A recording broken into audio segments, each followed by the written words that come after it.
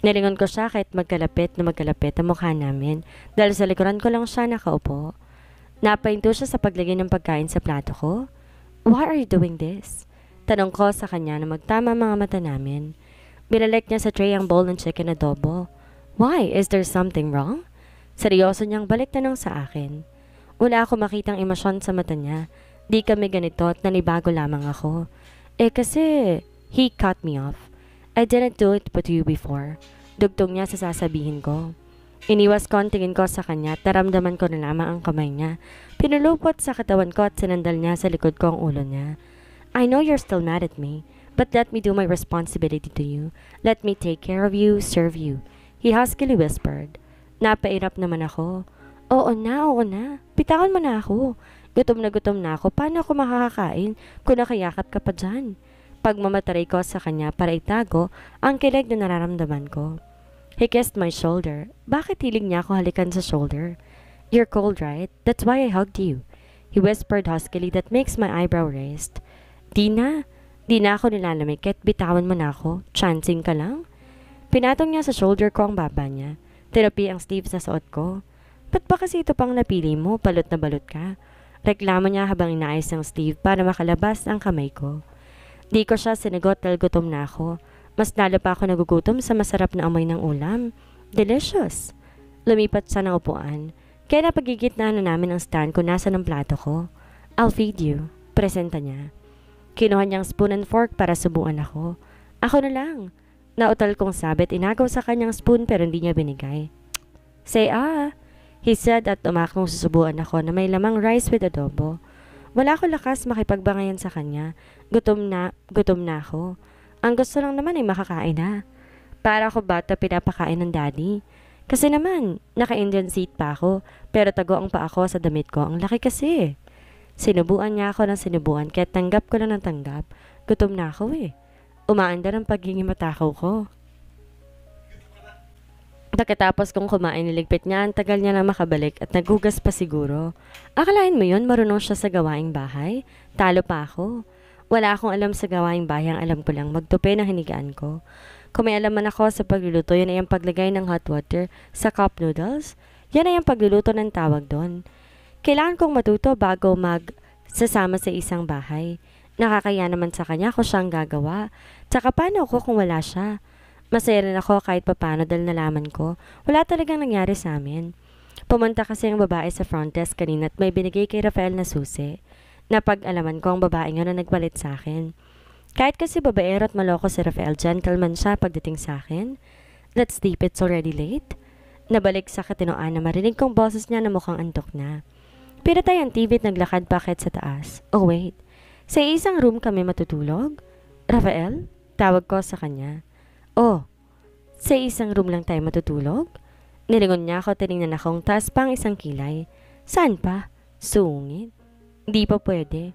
Sumunod naman ako sa kanya at nanlaki ang mata ko na makapasok sa kwarto. God, magkakasya kami dito sa kama?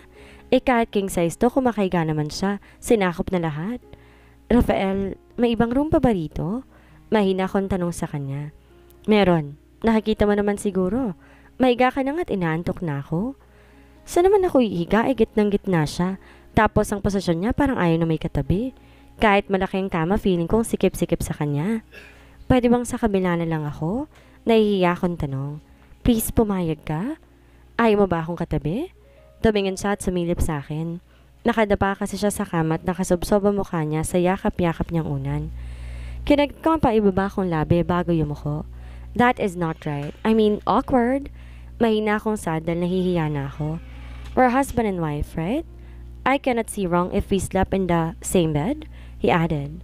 Oo, alam ko mag-asawa kami. Di ko nakakalimutan yon. Kahit na ang bata ka pa at saka, he cut me off. Enough, you're talking too much. If you want, you can sleep in the other room. No light and dirty. Aniya sa board na bosses. Bakit ganon? Ano? Bakit? He cut me off again. Shut up, let's sleep. Tinap niya ang space sa bedside na tumabi na ako sa kanya. If you wouldn't want to sleep beside me, the floor is waiting for you. What? Sa lapag niya ako papatulugin? Babawiin ko na, gentleman siya. Ano? Ikaw ang lalaki sa ating dalawa, dapat ikaw matulog sa lapag. Ako dito sa kama. Protest ako.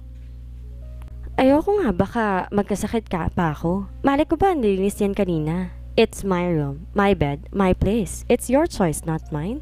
Ines niyang sabi. No choice. Ayoko sa lapag, masakit sa likod. Di ako sanay sa matigas na higaan. Nahiga ako sa right side niya at para kong statue, ayokong gumalaw. Ang awkward. Lumipas ang minuto pero gising na gising pa rin ako at di ako makatulog. Tatagilid sana ako patalikod sa kanya na maramdaman ko ang kamay niya sa bewang ko at niyakap niya ako kaya't nilingon ko siya. Her eyes are closed. Rafael, kamay mo ang bigat. Chancing ka na naman. Nigid ko ang kamay niya para magising siya at alisin niya yun sa katawan ko. Pero mas lalo lang tuloy niya ako niyakap at nilipat ang ulo niya sa unan. Share na nga kami sa bed, share pa sa unan. I can feel his warm breath in my neck. Let me hug you. I didn't do anything. You're cold, right? That's why I want to hug you the whole night. Good night, my lady. He huskily whispered and kissed me on my neck that made my heart race. Rafael! Sa ginawa niya, kakasabi pa lang na wala siyang gagawin. Ba't tinarikan niya ako sa leeg? Dahilan para magsitayo ng balahibo ko. Kasasabi mo lang wala kang gagawin, tas manghahali ka dyan? Pinalo kong kamay niya. I heard him chuckle. It's my way of saying good night. Pakiramdam ko nagsiakyatan lahat ng dugo ko sa pisngi. Kikiligin na ba ako? Inawakan ko ang braso niyang nasa tummy ko. Sililip kong mukha niya at napangiti ako. Good night, my husband. Ito ang unang gabi na magkakatabi kami bilang mag-asawa sa isang bubong, hati sa kama at share din sa unan, pero mas tamang sabihin, ako ang ginawa niyang unan at dantayan. Hannah Vanessa's POV Naglalakad ako sa hallway papunta sa classroom ko. Hinatid ako ni Rafael. Ang saya. Iba palang pakiramdam pag ganito siya sa akin. Sweet, caring at gentleman. Wala ako damit sa bahay niya pero pagising ko meron na. Minsan di ko maiwasang mamangha sa kanya. Dahil mamaya pampasok niya umuwi pa siya sa kondo. May gagawin pa raw siya at pagkita nilang kami mamaya before lunch. How can I survive the day when I'm with him? Do I need to forget what happened last time that he gave him a chance? How can I give him a chance if he's not asking for it? He did not say a proper apology. Bulaga. Ay pala ka? Ang gwapo ko naman pala ka. He smirked. It's Ren. Ren? Alam mo kung may sakit ako sa puso, siguro patay na ako. Inirapan ko siya. He chuckled and scratched his nape. Sorry, lutang ka kasi naglalakad eh, may nangyari ba? Tanong niya sa akin. Kakaiba ngayon si Rafael, ibang-iba sa mga nagdang araw. Lutang? Teka, di ba mamaya pa class mo? Ba't nandito ka na? Nagtatakang tanong ko. Ha? Sino nagsabi? Nga pala, di ba free time mo ngayon? May gagawin ka ba? Lutang nga ako. Mas may alam pa siya sa schedule ko ngayon. Wala naman akong gagawin, so tambay na lang muna sa library. Oy, si Alexa tinutukoy ko, hindi si Ram. Ano mangyayari sa akin? Oo, bakit? Ba't mo alam? This guy is so weird. Good. Creepy. Good. Anong good doon? Tinaasan ko siya ng isang kilay. Napakamot siya sa ulo at yumuko parang bata na nahihiya. Ano nga, para ka naman bata dyan. Nagmamadali ako kaya kung may sasabihin ka, sabihin mo na. Diretsahan kong sabi. Um, can I have a favor? Ani rin. Ngumiti ako at pinisil ko ang both cheeks niya. Ang cute mo, favor lang pala. Sabi ko na nakangiti. May ganitong side din pala tong si Ren. Di ba siya ang babaeng buhat ni Ram kahapon? Oo nga no, ang landi. Balak yatang gawing collection ng magpipinsan. That bitch, patay siya kay Patricia. Let's go, girls! Usapan ng tatlong babaeng napadaan sa tapat namin. Sa pagkakatanda ko, kaibigan sila ni Patricia. Chismosa nga naman. Ang sweet nila. Oo, pero mas bagay sila ni Ram. Napabitaw ako sa pisngi ni Ren at nahiya naman ako. Kami pa lang center of attention na taong napapadaan. Nakakahiya. Don't mind them. Napatingin ako sa kamay niya nakapatong sa balikat ko tiningnan siya sa mukha. Oh, sorry. Ani at nalagay sa bulsa ang kamay niya. Dami nang chismosa kagwa pa ng issue. Baka karating pa kay Ram. Eh ano naman, ipinsan niya naman to. O ano na, tutulungan mo ba ako? Wow, demanding, pero sige na nga. Anong tulong ba? Tutulungan mo na ako? Parinigurudo niya. Ano muna yon? Say yes first. Pangulit niya. Ang kulit, parang bata. How can I say no if he's using his charm on me? Pero mas cute pa rin ang hobby ko. Fine, oo na. What is it? Pagsang-ayon ko. He smiled and pinched my nose. Tinabi ko ang kamay niya, mahina lang naman, kaya hindi masakit. Tara sa gym, may papakita ko sa'yo. Sana kung gaano kita kadali na pa oo ngayon, sana oo rin ang sasagot mo. Anyway, it's just a suggestion but I hope you'll take it.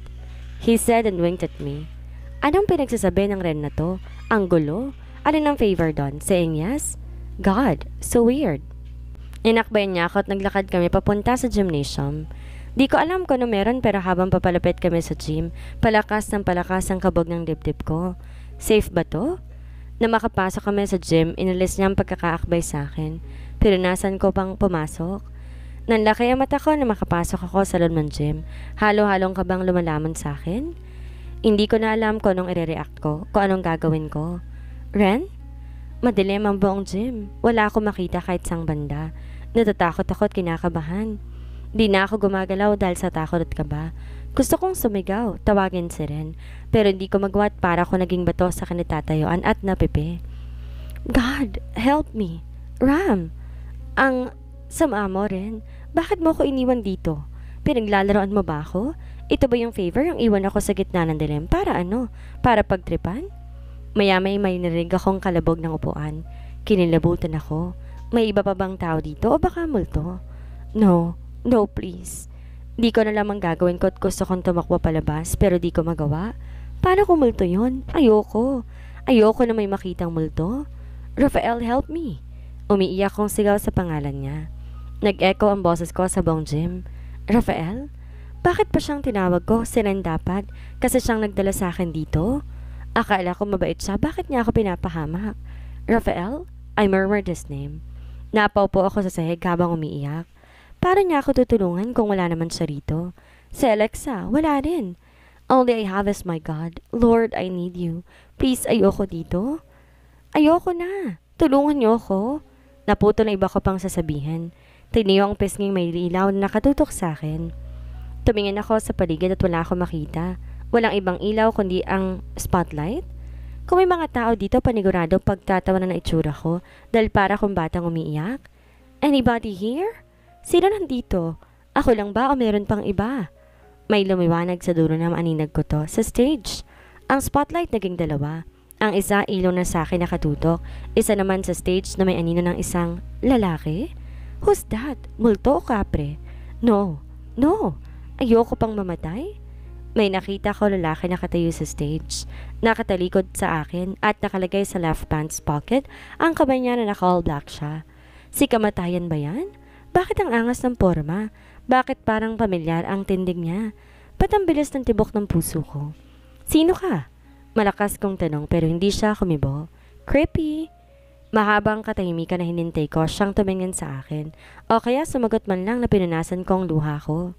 Pilit kong pinanalakas ang loob ko kahit takot na takot na ako. Hey, who are you? I ask again. Hindi siya sumagot pero kitang-kita ko kung paano niya patunogin ang sapatos niya sa pamamagitan ng mahinang pag-angat at baba nito. Nagsitayuan ang balahibo ko na mag-echo sa loob ng gym, yung tunog ng sapatos niya. Para siyang tumutugtog, nasa beat. Anong ginagawa niya? Tinatawag niya ba ang kampo niya? Maya-may may narinig ako nag-strum ng guitar, tunog ng piano at violin. Nasa tempo to sa beat sa paanan niya. Sino ka? Di ko mapigilang magtanong ulit kahit na kinakabahan ako sa kanya. Tatakbo na ba ako? He slowly turned around and I saw a man that I really can't imagine that this man is now in front of me holding a microphone, standing in the middle of the stage wearing his seducing charm. Raphael? I had to say I'm sorry. By Chicago. Every maid needs a little time away. I heard her say, from each other. Even lovers need a holiday, far away from each other. Napaka-manly ng boses niya. Bawat salita tumatarak sa puso ko. Hold me now. It's hard for me to say I'm sorry. I just want you to stay. Nagsorry na siya sa akin pero bakit kailangan? Sa public place pa. He wants me to stay. Siguro itong hinihintay ko sa kanya. Ah, magsorry siya pero di sa gantong paraan. All I want is to hear him apologize to me sincerely. After all that we've been through, I will make it up to you. I promise to. And after all that's been said and done, you're just a part of me I can't let go. Sounds so good and I can say that he's part of my life. I cannot let go too. Bawat salita sa kanta tumatatak sa puso ko. Couldn't stand to be kept away, just for the day from your body. Wouldn't want to be swept away. Far away from the one that I love. Tears Licky from my eyes. Kung kanina, umiiyak ako sa takot at kabang nararamdaman ko ngayon. Umiiyak ako dahil sa tuwang nararamdaman ko na hindi ko may paliwanag kung ano to. Nakatingin ako sa kanya habang garan din siya sa akin. Umiiyak ako habang nakangiti. Para akong baliw. Biglang nag-ilaw ang paligid at nalibot ko ang paningin ko. Nanlaki ang mata ko sa nakita ko. Sobrang daming tao. Ang gwapo mo talaga, Ram. Bagay na bagay kayo. Haranahin mo na rin ako, Papa. Puno ang gym at nagsisigawan din sila. Kilig na kilig ang mga sigawan ng mga babae. Natatawang nahihiya ako sa ginagawa niya but I find it sweet. Ang daming tao. Bakit kanina wala ako makita?